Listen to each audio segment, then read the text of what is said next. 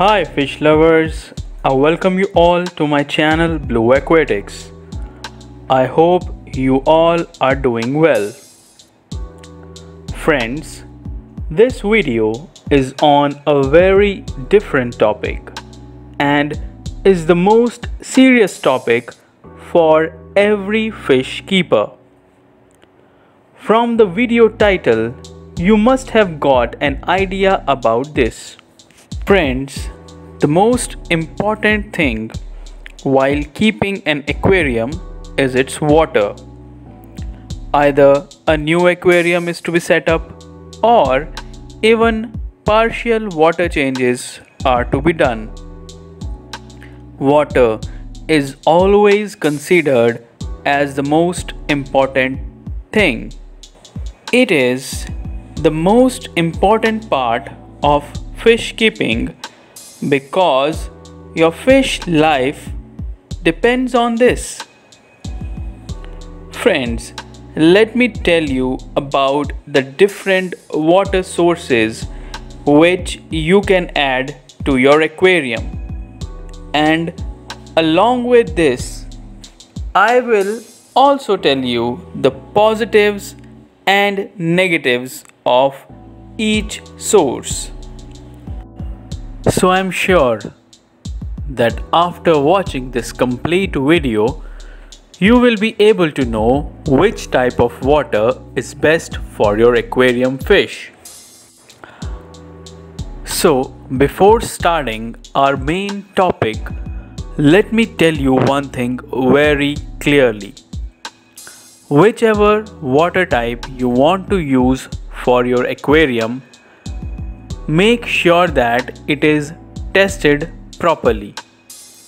As you know, there is salt and other elements dissolved in water. So, before using any type of water, we must test it properly. After all, our fish life depends upon this. You can use different types of water test kits available in the market to test the water to be used in an aquarium. The ideal water parameters required by a fresh water aquarium fish is pH. Ideal range should be 6 to 8. Then comes TDS. You have heard this TDS often. It stands for Total Dissolved Solid. That means how much solid element is dissolved in water as it can be powdery substance accumulated or dissolved in the water. As more the TDS level, the more hard the water will be. The recommended level of TDS for freshwater fish is 400 ppm or less. Some freshwater fishes require a very low TDS level. Then comes the ammonia ideal level is 0. The fourth part is nitrite. Again, the ideal level is 0. Then comes nitrate. Nitrate is considered as less harmful as compared to nitrite. So, the ideal level could be 10 ppm or parts per million. Friends, these are the ideal water parameters required by freshwater fish. So, before using any water, test it according to your fish requirements. So, now you know a lot about the water of an aquarium. Let's have a look at the different types of water sources you can use for your beloved fishes. Foremost is tap water. It is considered as the most common source for freshwater aquariums. It is very easy to get tap water. But before using this water, have you ever tested it? Most of the tap waters have a high chlorine level. And when you put this into your aquarium, it can kill beneficial bacteria as well as harmful bacteria. When the beneficial bacteria are killed, the water in the aquarium can be toxic for the fish. So, it is always suggested to use anti-chlorine medicine into this water. Don't put tap water directly into the aquarium. Always dechlorinate it first. After dechlorinating, you can put this water into your aquarium. Then comes the RO water. It is also known as reverse osmosis water. Everyone nowadays suggests using this water into the aquarium because it is considered as the purest form of water. Before using this water, check your water TDS as well. Might be you are getting a very low TDS from your RO as required by your fish. The other problem by using this water is that it removes all the essential minerals from the water required by the fish. So you have to use some artificial remineralizers to restore minerals. Third is rainwater. Another source of water is rainwater. This water is often collected in barrels or tanks for aquarium use. It has a very low pH as compared to tap water. So, before using this water, we can test it properly and we have to make it suitable for the fishes. Rainwater has some drawbacks also. If it is collected from the roof of any building, then it can contain unnecessary particles that increase efforts to use this water. It is also possible that rainwater can also be contaminated from air pollution. So, if you are thinking to use this form of water, you have to do a lot of effort at your end to make it ready as per the fish requirements. Fourth is boiled water. This form of water can be easily obtained by boiling tap water.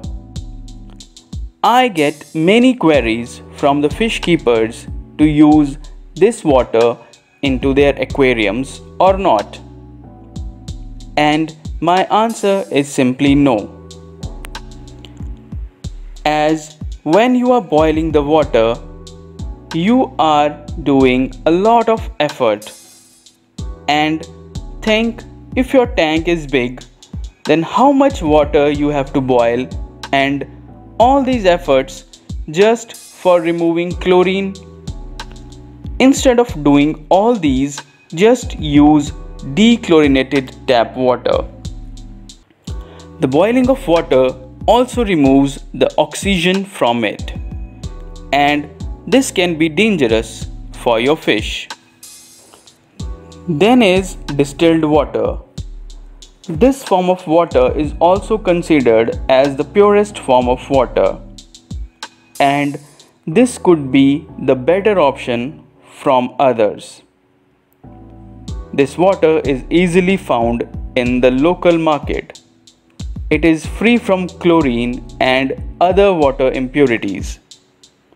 If you have a big sized tank, then thinking to use this water and it could be costlier for you also.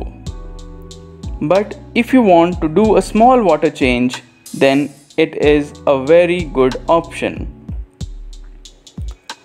I would suggest you test this water first before putting into your aquarium so that if there is any mismatch, then you can cover it with conditioners.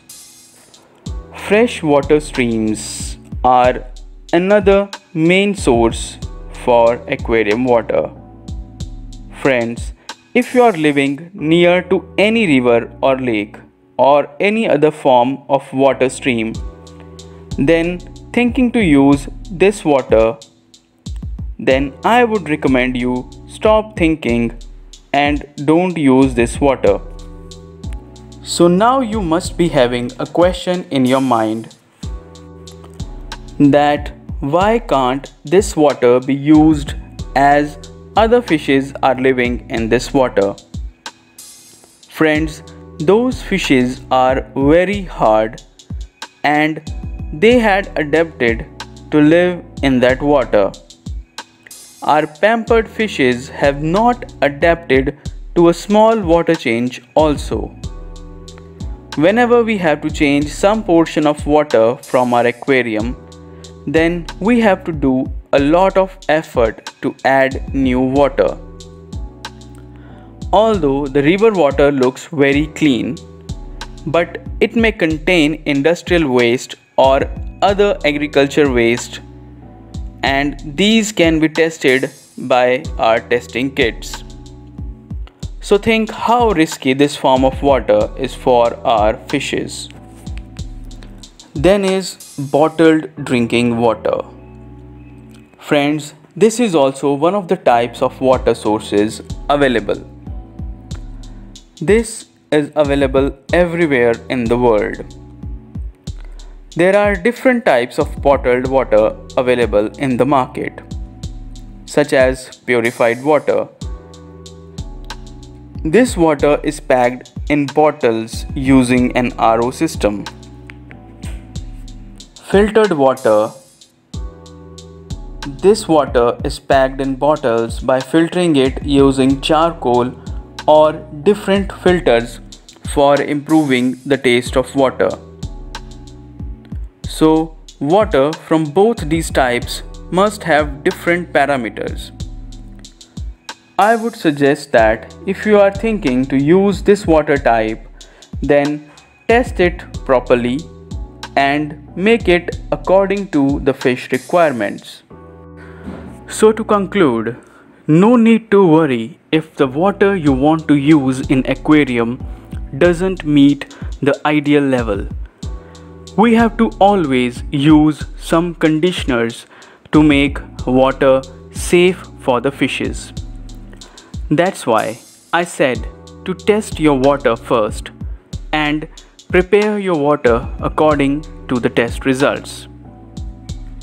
If possible, always ask your local fish shopkeeper about the water he uses in his tanks and what all efforts he has to do to make water beneficial for the fish. Friends, if you think that any other water source is missing, then please comment in the comment box along with its benefits and drawbacks so that it is helpful for others as well. Thanks for watching this video. I hope you liked it. For watching more such informative videos, do subscribe to my channel so you never miss any important update.